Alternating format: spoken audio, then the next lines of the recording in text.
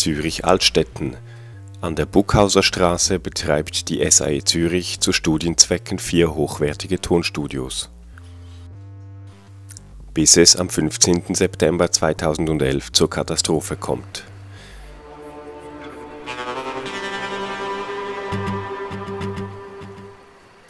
Es hat brennt bei uns Mitte September letztes Jahr in einem Aufnahmeraum. Die Ursache äh, ein technischer Defekt im Lichtschalter. Gewesen. Also insofern kann man niemandem gross Schuld geben. Und brennt hat es natürlich äh, sehr schön, weil in so einer Tonstudie natürlich alles aus Stoff und Dämmmaterialien sind. Also es hat wahrscheinlich einmal einen grossen Umschlag gemacht und dann ist das Zeug weg gewesen. Es hat ja einen Raum einfach brennt, sind aber vier Räume betroffen, weil die Decke zusammenhängend ist bei allen Räumen und es dort auch Rußpartikel drauf hat, wo halt einfach wo stinkt. Und darum muss man jetzt alle vier Räume, also Studio 1 und 2 mit Aufnahmeraum, komplett demontieren, sage ich jetzt mal, bis auf die Aussenwand, die bleibt. Und dann wird einfach alles innen rausgeräumt und neu äh, erstellt. Ja.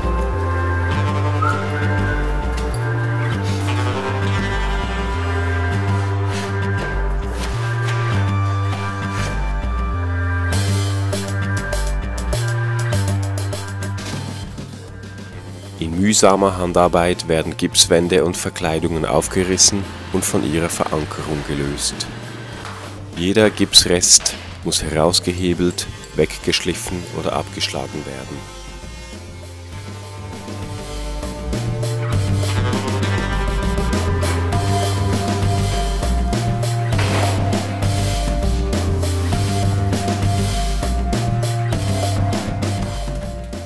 Als einziges darf das Holzskelett stehen bleiben.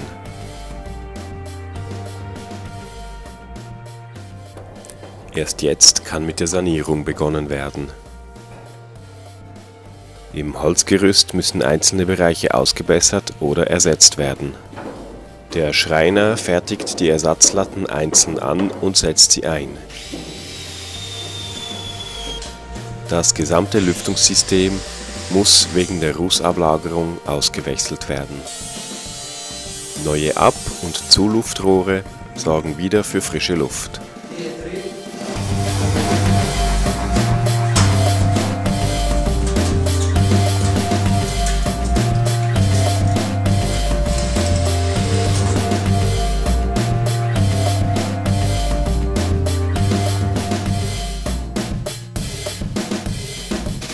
Vier Räume werden nun wieder voneinander getrennt. Als erstes werden die Lücken mit Isolationsmaterial gefüllt.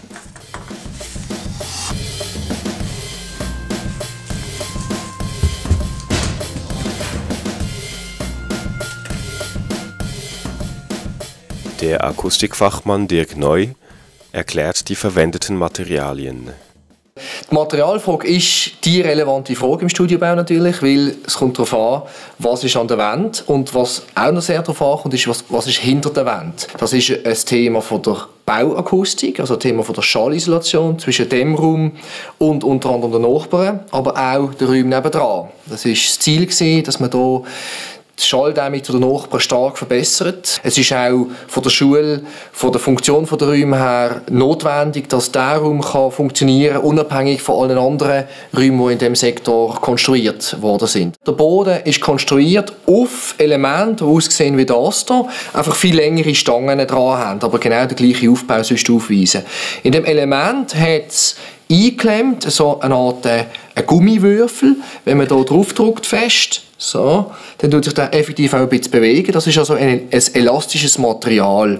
Auf das Material drauf kommen die Bodenplatten. Da sind äh, gewisse Dicke, äh, Holz, Gips, Holz als Lage und dann ganz am Schluss kommt ein Parkett drauf.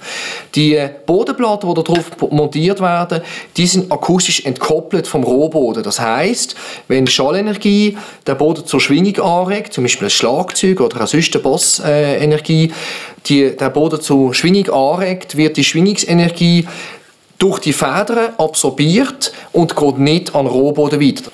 Das ist eins von vielen möglichen Beispielen, wo auch die Entkopplung für die Wand hier gewährleistet. Und zwar ist das auch eine Schiene, wo meterlange, zwei, drei Meter lange Stücke angeliefert worden sind, die an die Wand geschraubt worden sind, so. Und das sieht man auch hier, wenn man das so hebt und es ein bisschen zusammendrückt, dann tut sich das bewegen. Die Schwingungsanregung, die passiert durch den Schall im Raum, die wird die Wand anregen und die Schwingungsenergie von der Wand wird in dem Dämpfer in Wärme umgewandelt und nicht als Schall weitergegeben an den Rest vom Gebäude oder an die anderen Räume, äh, was da noch in der Nachbarschaft.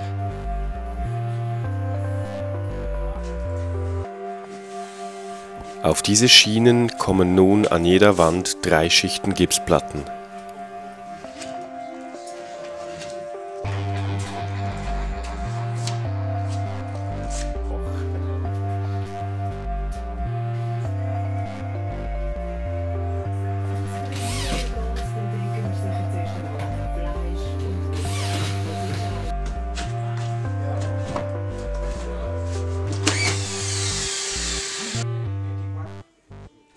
In allen Räumen werden die Decken mit Isolationsmaterial versehen.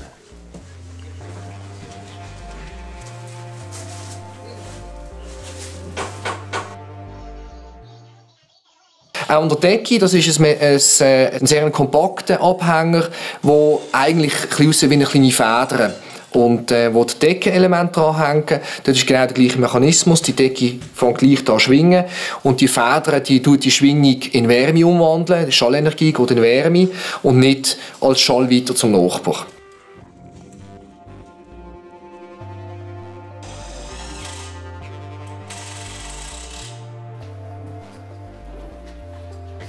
Abschließend werden die letzten Gipsplatten passgenau montiert. Auch hier wieder drei Schichten übereinander.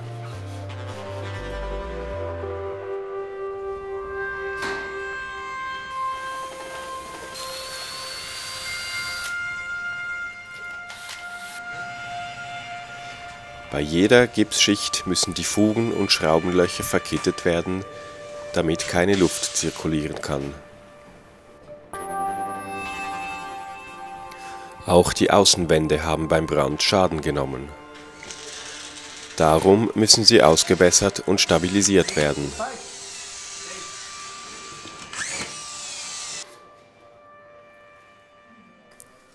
Die Schadstellen werden repariert, erst dann kommt der neue Verputz drauf, der mittels Abrieb die körnige Struktur erhält.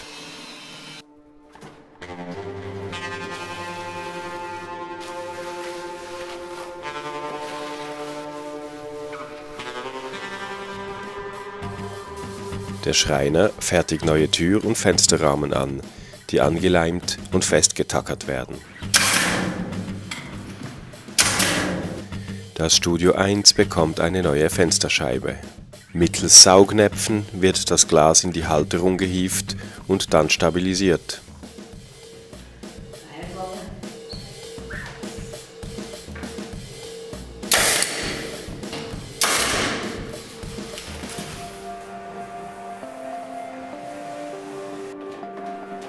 Nach der Fertigstellung der Oberflächen kann nun der Maler seine Arbeit verrichten. Als erstes werden die Decken und Wände weiß grundiert. Die Wände erhalten später einen hellblauen Anstrich. Fenster und Türrahmen werden wieder im bekannten Dunkelblau überstrichen.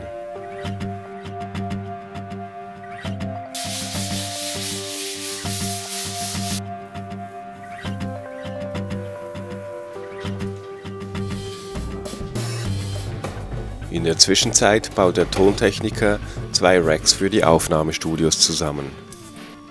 Die Kabel für Audio und Netzwerk werden einzeln zugeschnitten, verlötet, angeschrieben und montiert.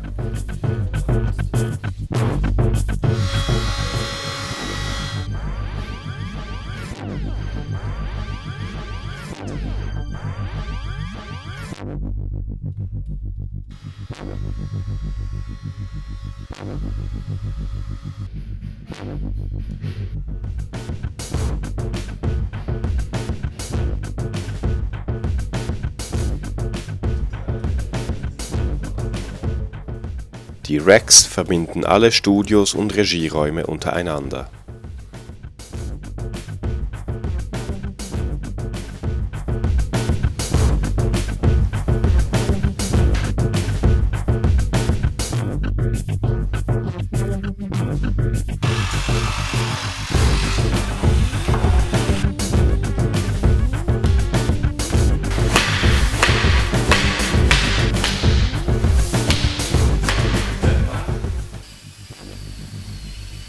Für eine optimale Raumakustik braucht es drei Elemente. Als Reflektoren bezeichnet man glatte und harte Oberflächen, die den Schall zurückwerfen. Die Holzdecke und die Gipswände sind solche Reflektoren. Die Schaumstoffwände werden Absorber genannt. Der Melaninschaum bremst die Schallwellen weitgehend aus die dritten Elemente sind sogenannte Diffusoren, gerillte Holzelemente mit harter Oberfläche, die den Schall diffus zurückwerfen. Hier werden die Diffusoren mit kleinen Abständen von 1,6 mm montiert. Durch diese Spälte gelangen Tieffrequenztöne zum Schaumstoff und werden dort absorbiert.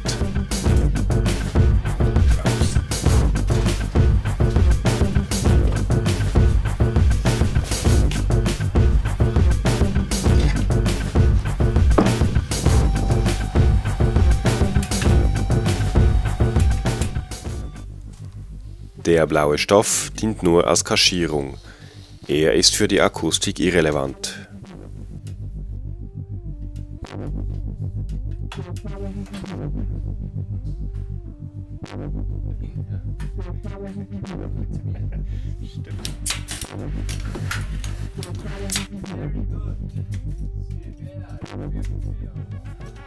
Die Mischpulte mussten teilweise zerlegt und gereinigt werden weil auch da der Ruß Schaden angerichtet hatte.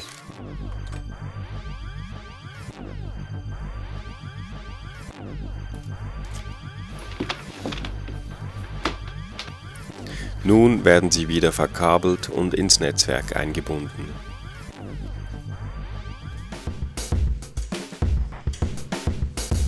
Als letztes Element bekommen die Control Rooms Plexiglasplatten, die auch zur Absorption des Schalls dienen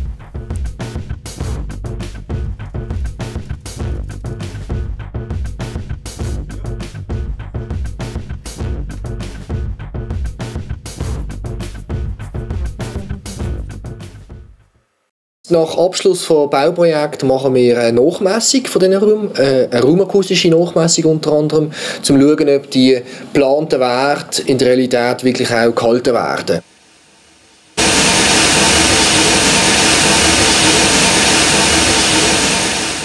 In den Resultaten sieht man, dass die wesentlichen Trends aus der Voraussage eigentlich auch beim ausgeführten Raum tatsächlich auch zutreffen.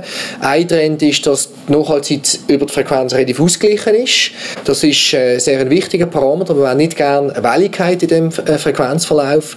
Und der zweite Trend ist, und das ist im Rahmen des Standard absolut auch erlaubt, äh, dass wir zu den tiefen Frequenzen einen kleinen Anstieg haben von der Nachhaltigkeit.